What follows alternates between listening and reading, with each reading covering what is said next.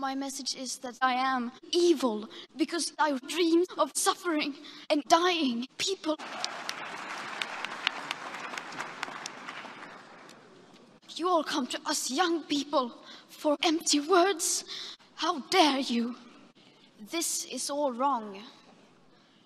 I shouldn't be up here. I should be back in school. Solutions needed is money and eternal economic growth. All you can talk about is fairy tales of emissions levels and global temperature rise. I refuse to believe the science. How dare you? If you choose to fail us, I say we will never forgive you.